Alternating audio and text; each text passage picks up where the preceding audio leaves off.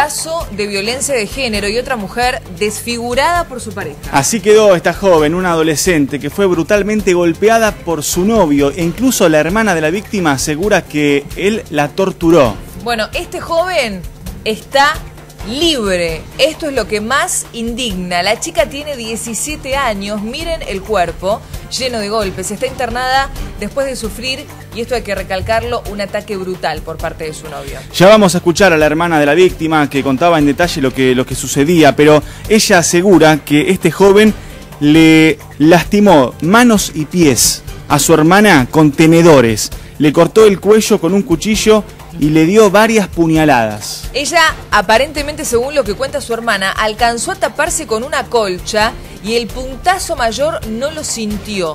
Dice que fue salvada por dos perros que lo atacaron al agresor, le pegó a los perros con un fierro y con ese mismo fierro también le pegaba a ella. Así quedó esta joven, su rostro está totalmente desfigurado, está internada. El temor que tiene la familia ahora, incluso lo va a comentar su hermana en instantes, tiene que ver con que el joven está libre y que amenazó con matarla.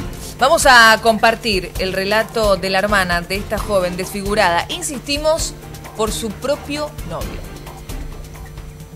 Eh, tengo a mi hermana eh, que fue golpeada por el novio ayer como al mediodía.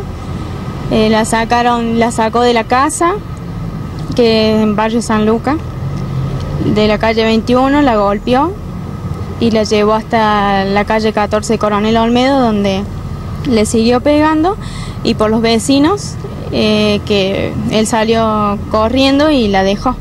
¿Con qué la golpeó? La golpeó con un fierro en la cabeza. ¿Qué edad tiene tu hermana? Tiene 17 años. ¿Esta persona que golpeó a tu hermana eh, es la pareja, el novio? ¿Qué es de tu hermana? Sí, estaban en pareja, el novio. Sí, ya hace cuatro años, cinco años.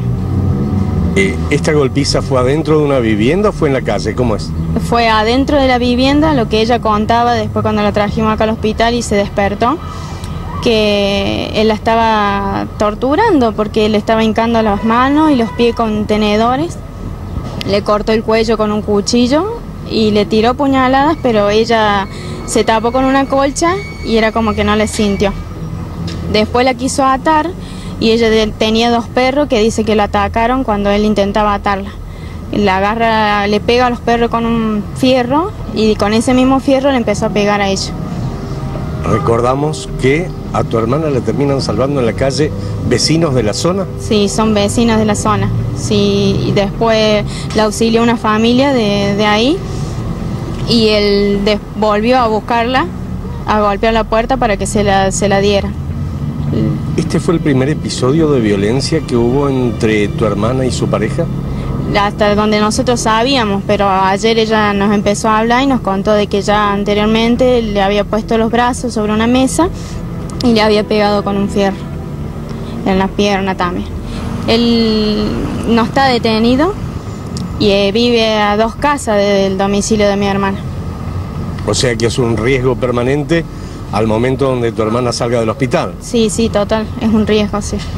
Porque en el momento que ella salga, él amenazó con que la iba a matar.